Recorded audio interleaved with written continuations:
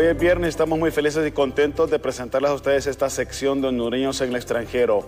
Compatriotas nacionales, hombres y mujeres que fuera de estas tierras dejan muy en alto a nuestro país, a Honduras, y nos representan dignamente en diferentes áreas laborales, artísticas y demás en todo el mundo. Hoy es un honor y un privilegio para nosotros conversar con Joana Oliva, conocida como Gen Chibi, y si me equivoco en la pronunciación, Joana me corrige por favor, porque es una joven diseñadora y amante de la biología e historia de las culturas.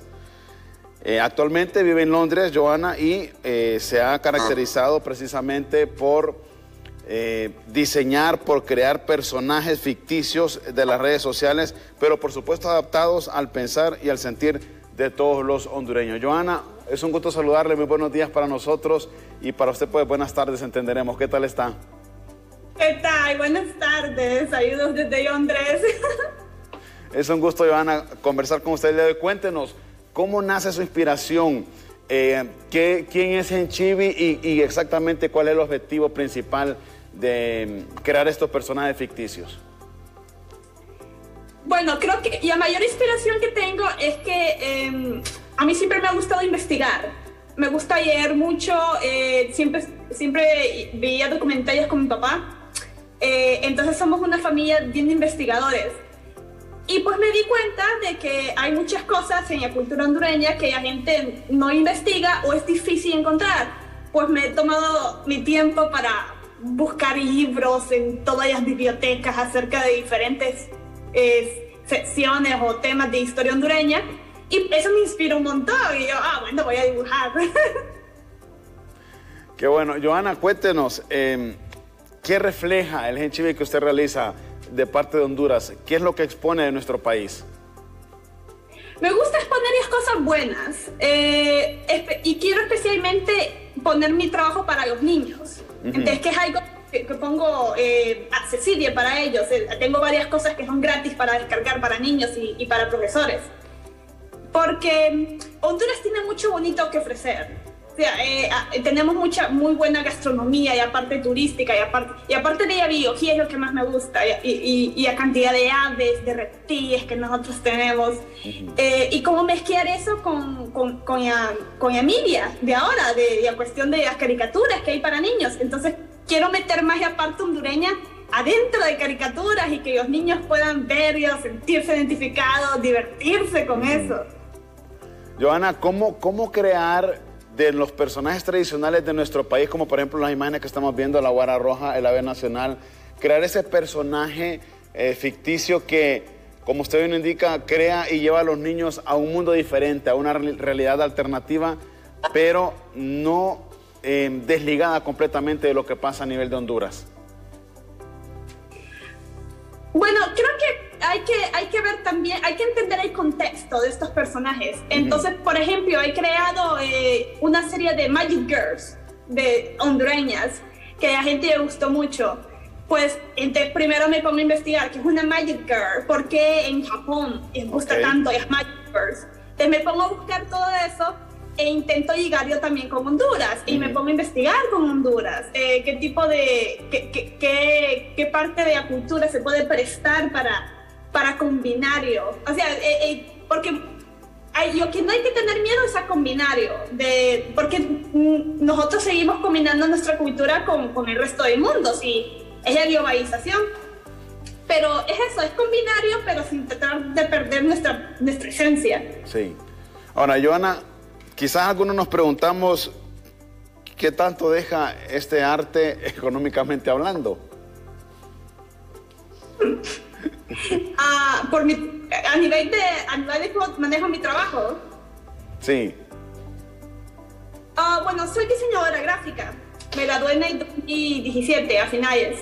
Okay. Uh, y ahora ya estoy eh, en Londres, ahorita estoy estudiando animación computarizada. Ok. Ay, voy a sacar algo de eso, por cierto.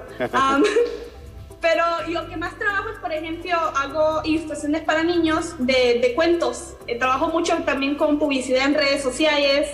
Eh, más que nada es trabajo independiente. Eh, los clientes vienen y me dicen, ah, ahorita hay uno buenísimo que ya voy a publicar en mis redes, pero que ella, me, ella vino y me dijo, voy a crear un cuento garífuna. y quiero que me ayudes con la ilustración. Y yo, perfecto, hay que investigar, eh, eh, tú platicame cómo es la parte garífuna, cómo, qué es lo que quieres representar y eso. Y es, saber moverse. Eh, no es tan fácil, pero tampoco es imposible. Conozco mucha gente que, que vive de esto en Honduras también y fuera de Honduras. Y también que ahora esto con las redes sociales, con el Internet está abierto al mercado internacional. Ah, y hay más facilidad, Joana, ahora con el Internet de publicar el trabajo y específicamente este que usted realiza a través de las redes sociales, Facebook, Instagram, Twitter, ahora TikTok también. Eh, ¿dónde, podríamos, ¿Dónde podríamos, eh, Joana, encontrar su, su, trabajo, visualizarlo en redes sociales? Aquellas personas que están interesadas de repente también en contactarla. Bueno, yo más que nada manejo Instagram, pero sí intento poner mi nombre en todos lados. Y es algo que yo recomiendo mucho a cualquiera que se quiera meter en esto. No tengas miedo a mostrar tu trabajo, eh, porque yo que tal vez tú digas, es que no me gusta de todo. Va a haber un cliente que va a decir, eso es exactamente lo que necesito. Entonces, me puedes encontrar en, Instagram, siempre como Jen Chibi, eh, Instagram, Facebook, TikTok, eh, también manejo mi correo.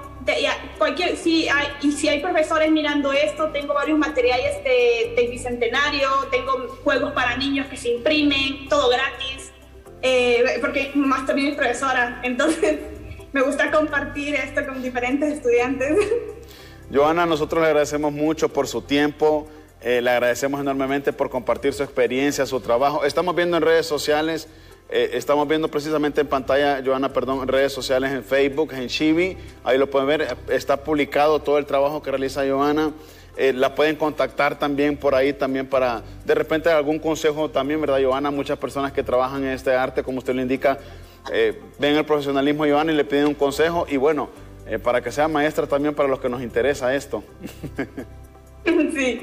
No, yo soy abierta. Sí, y las personas me quieren preguntar, hey, ¿cómo haces esto? ¿Cómo haces lo otro? Yo les digo, yo les digo, yo, a mí no me gusta guardar información. Es como, si tienes el talento, vas a saber, vas a saber utilizar formas. Joana, para, para finalizar, ¿hay una técnica en específico para realizar este tipo de trabajo o, o hay, hay, hay una diversidad de técnicas? trabajo más que nada en digital, pero sí me gusta experimentar muchísimo. Entonces, aquí puse, por ejemplo, cosas que hago en, en tradicional, okay. chicos. Trabajo más en tableta, pero si alguien me dice, es que yo no hago trabajo digital, no importa, hay, hay varias maneras de eh, traspasar algo tradicional a algo digital. Hay, hay, hay sin fin de maneras. Eh, es muy, muy, combino muchas cosas. Bueno, Joana, muchísimas gracias una vez más. Aquí son las 8.31 de la mañana. ¿Qué horas tiene ahorita en Londres? Uy, aquí creo que son las 3 y media. 3 y media de la tarde. Bueno, Joana, muchísimas gracias. Ha sido un honor para nosotros y un placer. Y sus palabras finales, por favor, para ir cerrando esta entrevista. Bueno, es un gusto, gracias por invitarme, en serio. Y atentos en enero de otro año porque voy a estar terminando mi animación de Ya Sucia una animación en 3D. Excelente, vamos a estar muy al pendiente, Joana. Muchísimas gracias y bendiciones. Gracias. Que esté muy bien. Cuídese, Joana Oliva, quien nos ha acompañado el día de hoy precisamente para hablar pues, sobre su talento, su arte y sobre cómo deja en alto a Honduras viviendo en Londres. Eh, y pues eh, haciendo esta técnica del y estos personajes ficticios que se adaptan a la realidad no solamente de Honduras, sino que también, por supuesto, de otros países eh, en el mundo que pasan dificultades. Vamos a continuar con mucha más información a esta hora de la mañana. Alejandra Rivera está lista para traernos más aquí en Honduras. Gracias.